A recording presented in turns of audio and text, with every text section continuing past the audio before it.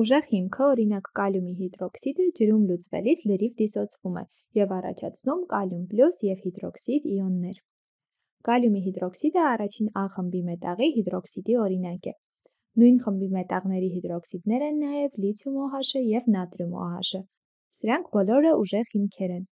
Ուժեղ են համարվում նաև երկրորդ A խմբի որոշ մետաղների հիդրոքսիդները, օրինակ կալցիումի հիդրոքսիդը կամ ստրոնցիումի հիդրոքսիդը։ Արի լուծենք մի խնդիրը առաջին A խմբի մետաղի հիդրոքսիդի օրինակով։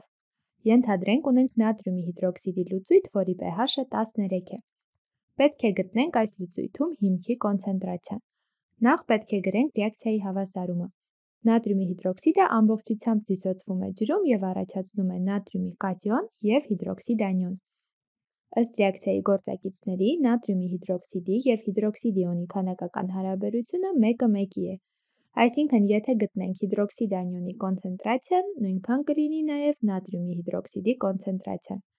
Իսկ հիդրոքսիդ իոնների կոնցենտրացիան կարող ենք գտնել օգտվելով pH-ի արժեքից։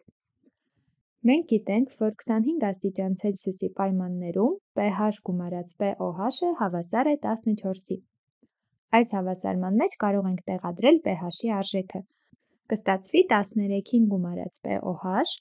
հավասար է 14-ի։ Այսինքն pOH-ը հավասար է 1-ի։ Ինչպես գիտենք, pOH-ը հավասար է մինուս լոգարիթմ 10 հիմքով հիդրոքսիդ իոնների կոնցենտրացիան։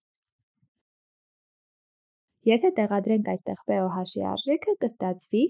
որ 1-ը հավասար է մինուս լոգարիթմ OH-։ Որպեսզի կարողանանք լուծել այս հավասարումը, արի մինուս նշանը տեղափոխենք հավասարման մյուս կողմը։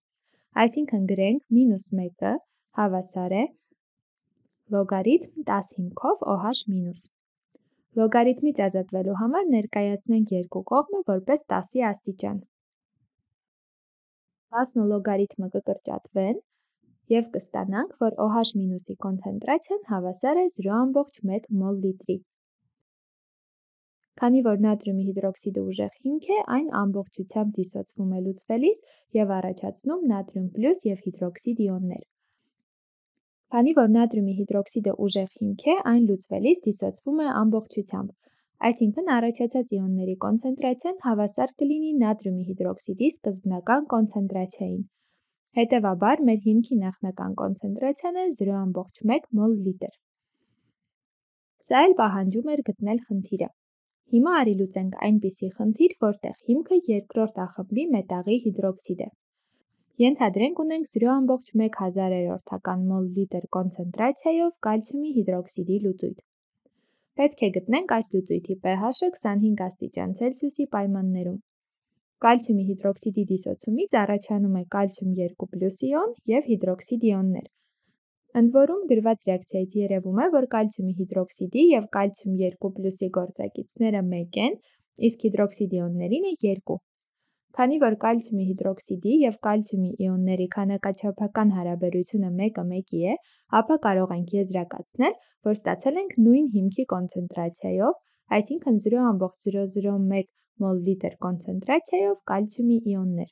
Իսկ կալցիումի հիդրոքսիդի և հիդրոքսիդ իոնների մոլային հարաբերությունը 1-ը 2-ի է, Այսինքն, եթե կալցիումի հիդրոքսիդի սկզբնական կոնցենտրացիան 0.001 մոլ լիտր էր,